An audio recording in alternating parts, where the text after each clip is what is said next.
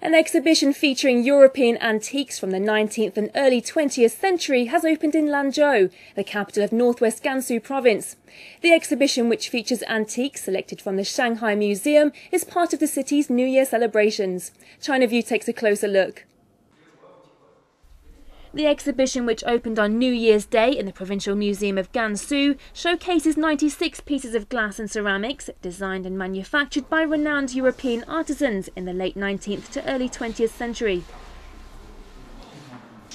The items have been selected from a 2,000 piece collection at the Shanghai Museum and feature the style and aesthetics of different countries such as France, Belgium, Denmark, and Sweden.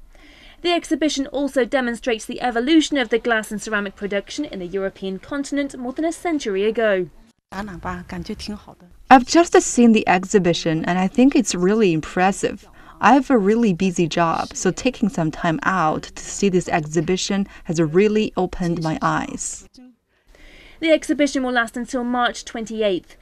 Museum curators are preparing to receive a large number of visitors during the Spring Festival holiday.